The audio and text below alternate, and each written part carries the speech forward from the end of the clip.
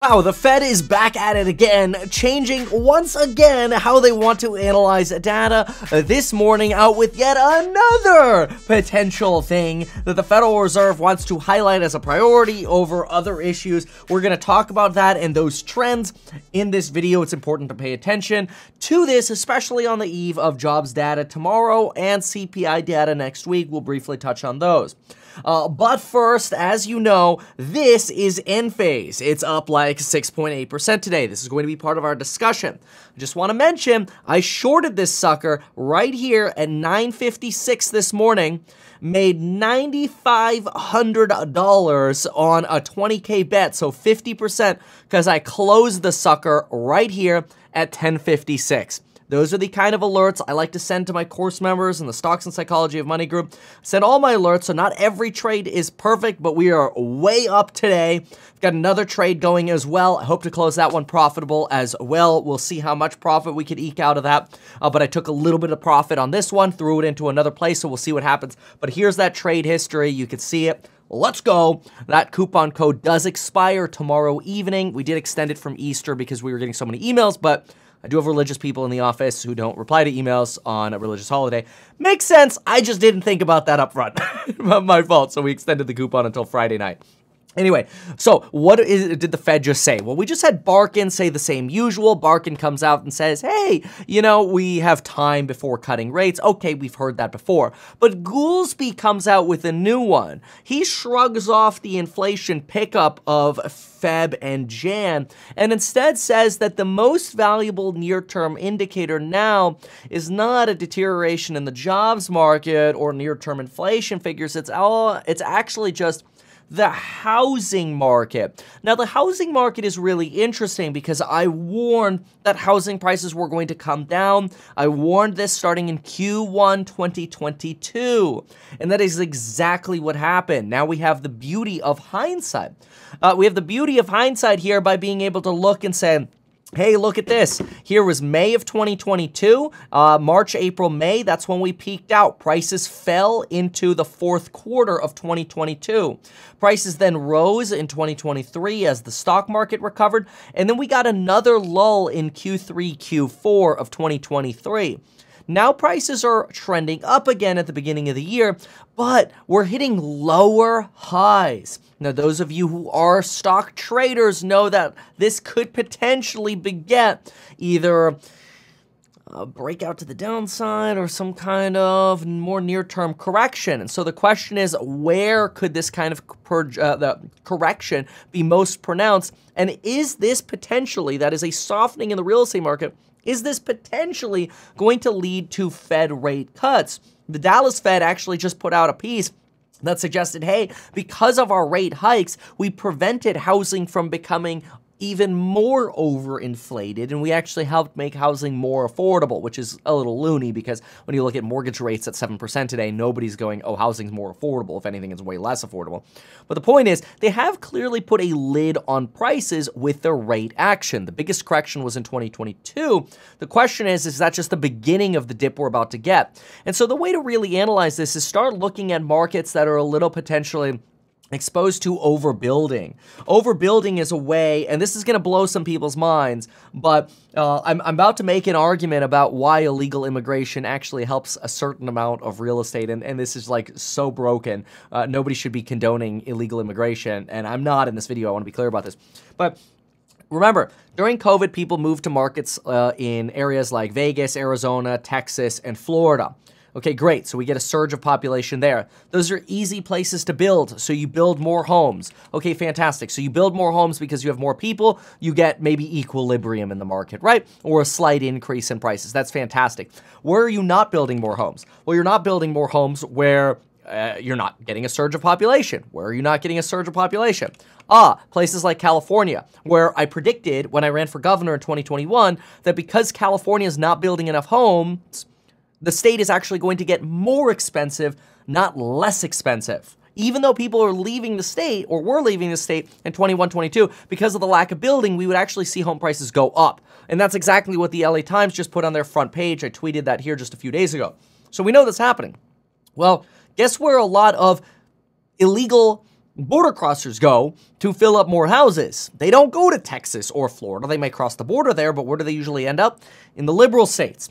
The liberal states are the ones building less housing supply. So you're actually now, instead of seeing this continuation of a COVID wave where more population is going into Florida and Texas, what you're actually seeing uh, is you're seeing states like California get more immigration again while you're kind of somewhat stalling out on 2023 population trends in states like Florida and Texas. Uh, and, and these are just the current estimates. We're, we're not suggesting that uh, they're definitely like, oh, you're going down or or you're collapsing in uh, population. But uh, what you're seeing is a state like Texas that saw a population increase of a 5% during COVID, uh, only saw a 1.6% increase in population between 22 to 23. Uh, a similar story for a state uh, like uh, Florida. So Florida and Texas, you're you know you previously had these dramatic inflows of. Uh, you know, nearly a million people going into a state uh, like Texas, and that growth uh, back then was phenomenal. You know, you had you had excellent growth, and it really demanded more building. That's fantastic. We like more building because it makes housing more affordable. But the problem is when your population is only growing at 1%, well, but you're building substantially more homes, at some point rents are going to have to come down. Now, we're still waiting for the latest numbers in California to actually show population going positive again, but as you can see here, most of the dip in California happened early in the pandemic. That's the same kind of reverse that you had in Texas and Florida, where you had most of the surge at the beginning of the pandemic. That led to an explosion of new construction, and now what you're seeing is rents substantially start to decline. In fact, when I go to Zillow.com and I look at areas in, let's say, Dallas, Texas, and I want to start finding what's available for rent, the number of properties for rent is insane. We could go to some of these areas close to hospitals, um, north of downtown uh, Texas and what you'll find is you'll find buildings that are trying to ask $3,700 or here's one that's asking $4,200. You're going to find these more expensive buildings. Here's an apartment building that's offering one bedrooms and studios from 1300 to 1369. What you're finding is a lot of these properties are now offering free applications, free fees, and up to four weeks free just to get properties rented. One of the problems is you've got so much new construction as you click around here, and they all have plenty of units available that they have to give concessions to actually get these units filled.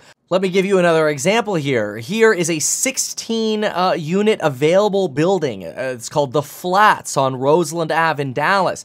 All of the 16 units are available here, so they've either just put these on the market or they can't rent them out. But we're looking at little one bedroom units. They're trying to get 1900, some as low as 1600 for all these one bedrooms. But the reality is, this is clickbait because when I go to their website, they're already offering you two bedrooms starting at $13.99. Well, that's not what they're listing here. They're not listing any two bedrooms at uh, $13.99. Uh, that's because on Zillow, they're showing these high prices to show off to potential buyers. Oh, yeah, we're getting really good numbers, we're getting good cap rates but it's all clickbait because the, the tenants and the tenant facing sites, they're offering one month free for March move ins. And what happens is that's the offer. Then smart tenants go in and say, I need two months free and I'll sign right now, and they're getting it. So we're starting to see rents decline in these overbuilt markets. And one of the ways we could start seeing in at least the single family space that you're starting to get an increase of inventory, which puts downward pressure on price. Here's just an example on the single family space quickly. This property sold in 2020. They listed it for rent for 4500 dropped the price to 4200 about a month later, dropped the price to $4,000 about a month later, dropped it to 3750 about a month later. Looks like they finally got got it rented. The tenant probably left, uh, you know, sometime here in the spring or whatever because it's up for rent again. They actually listed it for less than what they rented for the last time, or at least were advertised for the last time. Still not renting, dropping the price again. This kind of stuff is going to keep happening. Why does it matter for the Fed? Because owner's equivalent rents are stagnating. They're flattening, they're falling. This is something that is going to drive core inflation down and that favorite multivariate core inflation. We want to see this come down, and housing is a huge component. PCE, it's about a 25% component. Part of a CPI, it's about a 34% component. So right here, we're seeing the stagnation of inflation from housing, but the actual leading rental data suggests we are going to see a very quick slowdown. Uh, maybe not necessarily quick, but we're going to see a slowdown in this housing data. This is good for a, an inflation point of view, but is it going to be offset by housing or non housing services uh, stagnating? Possibly. But it's very interesting to see Goolsbee highlight how important housing is going to be because we are seeing a slowdown in housing, especially in those overbuilt areas.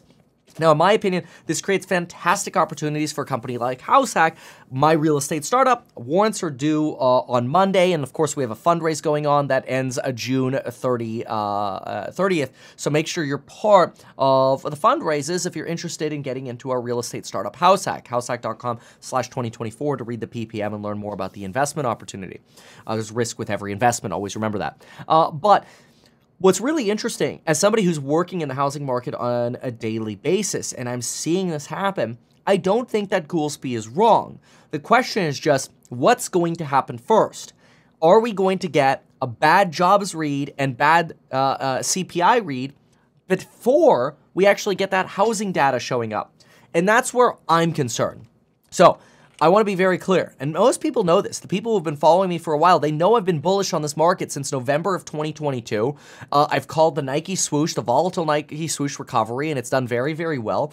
Uh, and I've been bullish for the greater part of 15 months. However, for the last three and a half weeks, I've been bearish. I've been bearish because I've seen the following. I've seen BTC topping out. I've seen uh, the NASDAQ topping out. I've seen gold rocketing, which is a fear signal, oil and yields rising, and the market still thinks we're going to get a June cut. I think that's too soon. I don't think we're going to get that, and I think we're just one bad jobs and CPI report away from a major correction. I do think Goolsbee is right in the longer run, over the next year, we are going to see housing data hurt rental data. We're, see, we're going to see rental data come down, as we've just seen, especially in the overbuilt areas. That is going to be supportive of rate cuts. But I don't know if we're going to get good jobs and CPI reports before that. And that's the danger we have to be prepared for now. The danger right now is all, in my opinion, it's going to take with this fragile glass foundation that we're on is a bad jobs report potentially tomorrow morning 5:30 a.m. If we get an average hourly earnings read, I mean, I'll read out the expectations here in just a moment. Uh, right now, the uh, average estimate is 0.3, median estimate is 0.3. If we get 0.4 or above on those average hourly earnings, this market's going to take the giant uh, doopsies really quickly.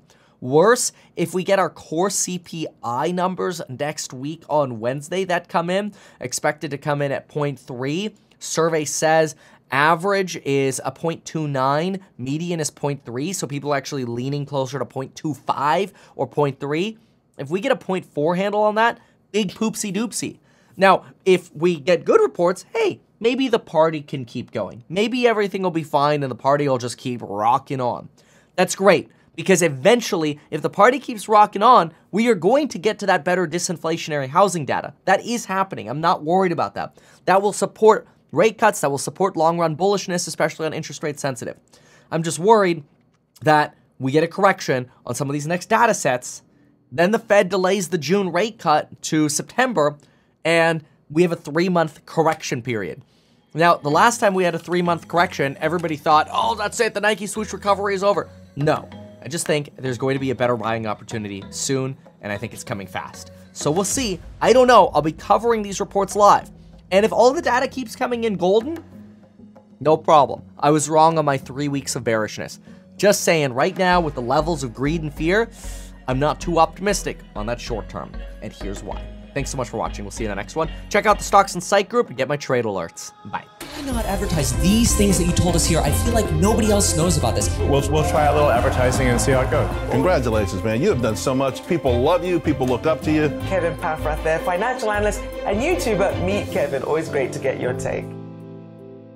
Even though I'm a licensed financial advisor, licensed real estate broker, and becoming a stockbroker, this video is not personalized advice for you. It is not tax, legal, or otherwise personalized advice tailored to you. This video provides generalized perspective, information, and commentary. Any third-party content I show shall not be deemed endorsed by me. This video is not and shall never be deemed reasonably sufficient information for the purposes of evaluating a security or investment decision. Any links or promoted products are either paid affiliations or products or services we may benefit from. I also personally operate an actively managed ETF. I may personally hold or otherwise hold long or short positions in various securities, potentially including those mentioned in this video. However, I have no relationship to any issuer other than Househack, nor am I presently acting as a market maker. Make sure if you're considering investing in Househack to always read the PPM at househack.com.